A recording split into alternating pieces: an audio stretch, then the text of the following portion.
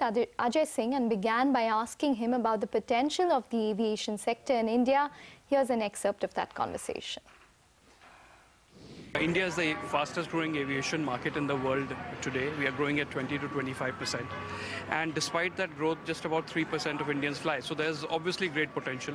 And, and therefore, there is great potential uh, to buy planes. Uh, SpiceJet has bought up to 205 aircraft from Boeing. They're worth $22 billion.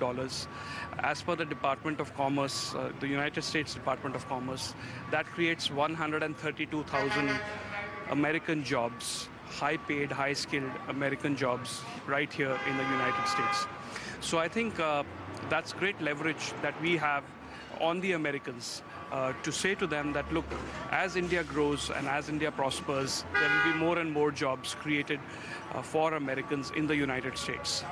Um, So is that how you believe India should pitch the Make in India and Make America Great Again story? It isn't an either or, uh, but it has to be jointly sold. It has to be both because uh, as India builds smart cities, as we build our roads and our airports and our ports, there will be huge numbers of American jobs created here in India.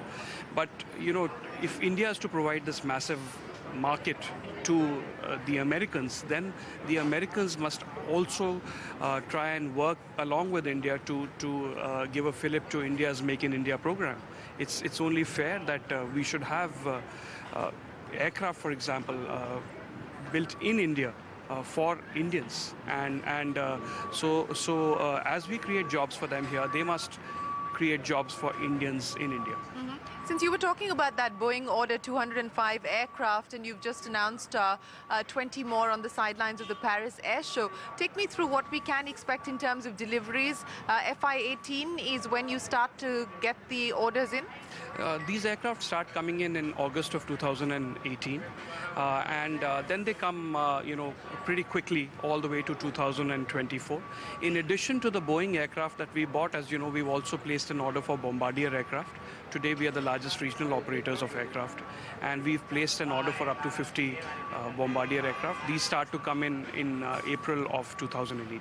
One of the things that the Prime Minister uh, spoke of while he was meeting with US business leaders was the GST and how that could be a game changer for the Indian economy. For the aviation sector in specific, though, there are concerns about the implementation of the GST and the back end preparedness.